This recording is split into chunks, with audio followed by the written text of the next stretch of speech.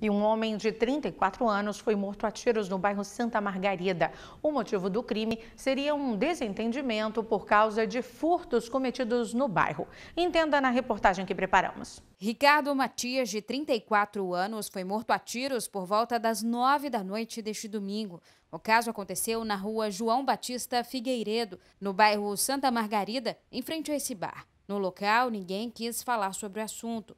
Nós entrevistamos uma tia da vítima, que preferiu não mostrar o rosto. De acordo com ela, Ricardo estava passando pela rua, parou no bar e foi surpreendido com três tiros pelas costas. Ele sempre ficou naquele bairro, é ali que ele mora. Então ele estava descosta quando o carro chegou e parou e deu um tiro na nuca dele, aí ele caiu, aí ele tentou levantar, ainda deu, o cara deu mais dois tiros. De acordo com a tia, o suspeito do crime é um morador do bairro que estaria cometendo furtos na comunidade e Ricardo teria o repreendido por conta dos crimes. Ele estava roubando o bairro.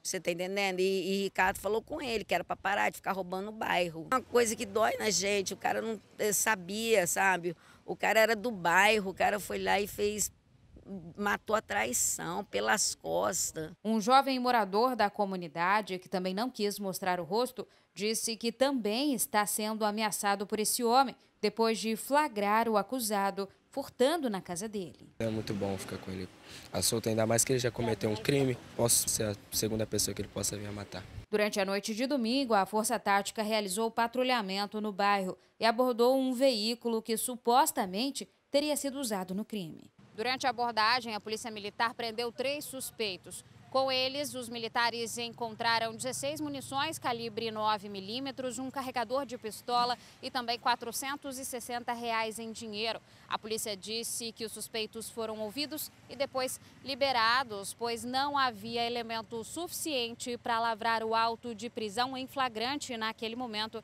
mas que o caso segue sob investigação.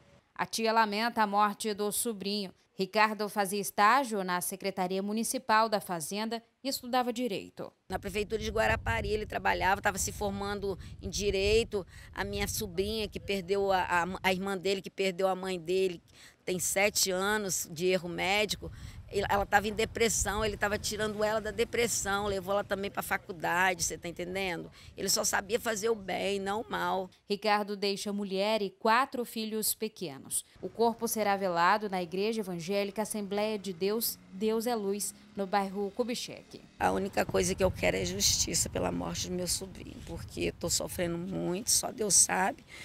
Um pedaço meu foi embora. Em nota, a Polícia Civil informou que até o momento nenhum suspeito foi detido e que não vai passar mais detalhes para não atrapalhar as investigações. A polícia reforça a importância da participação da população, que pode fazer denúncias anônimas através do número 181.